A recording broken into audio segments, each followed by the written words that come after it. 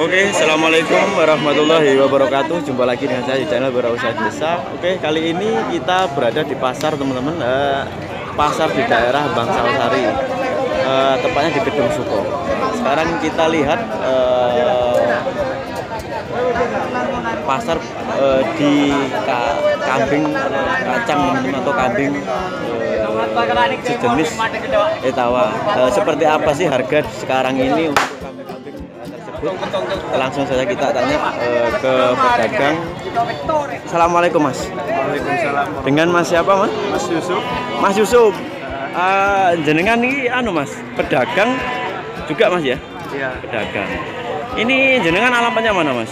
Alamat saya eh, jelasnya Curah Kalong Tugusari Gunung saya Mas. Oh iya nggak apa-apa Mas. Yang penting kambing-kambing juga dari sana juga bagus-bagus. Eh, mas ini eh, untuk sekarang ini harga dari kambing seperti ini harganya berapa Mas? Eh, cenderung naik apa cenderung turun Mas? Kalau sekarang ini kan musim masih kemarau. Iya, masih kemarau. hujan. Eh, itu kalau kambing itu harganya masih naik. Masih naik. Nah, Oh berarti eh, ada hubungannya antar kemarau dan iya. eh, penghujan. Eh, kalau musim penghujan itu rata-rata petani banyak yang paceklik istilahnya. Paceklik ya? paceklik. Banyak yang menjual gitu Pak. banyak yang menjual. Tapi kalau sudah eh, turun hujan mungkin dari rumput-rumput sudah mulai ada Mas. ya? Ah, mulai ada. Terus ini eh, profesi jenengan ini memang eh, pedagang atau gimana Mas? Eh, ya sekaligus ya profesi saya bukan asli pedagang sih tapi cuma ikut-ikut bapak. Ikut bapak belajar, Mas, ya? Belajar berhubung nganggur kuliah. Oh masih kuliah juga Mas? Oh, hebat. Berhubung nganggur itu ikut bapak bantu-bantu. Ah, iya. Tapi di rumah nih eh, ternak apa enggak Pak? Enggak, enggak ternak. Enggak ternak? Nah, Cuma cuma- pedagang. Nah, suplai aja. Suplai, suplai. Oh. Tapi dari hasil pedagang ini gimana Pak? Ya lumayan lah bisa istilahnya eh, bisa menyambung hidup. Oh untuk biaya kuliah juga Ah, ya? Biaya kuliah juga.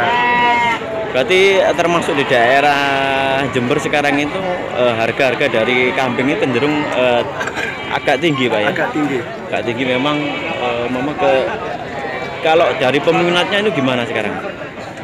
Minatnya itu rata-rata banyak yang dari pengepul-pengepul. Pengepul. Mm-mm. Kalau langsung dari konsumen jarang Nah, konsumen jarang. Karena memang eh, dengan harga relatif tinggi seperti ini otomatis konsumen itu akan misalnya takut untuk eh, ke pasar dengan harga yang seperti ini Pak. ya? Iya.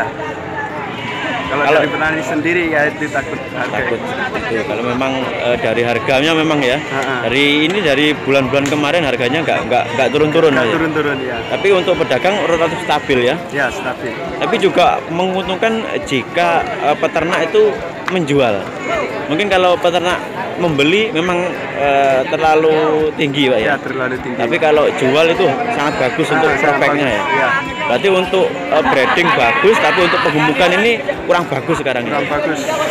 jadi memang eh, ada sisi lain positif dan negatifnya untuk eh, naik dan turunnya eh, kambing ini Kambing.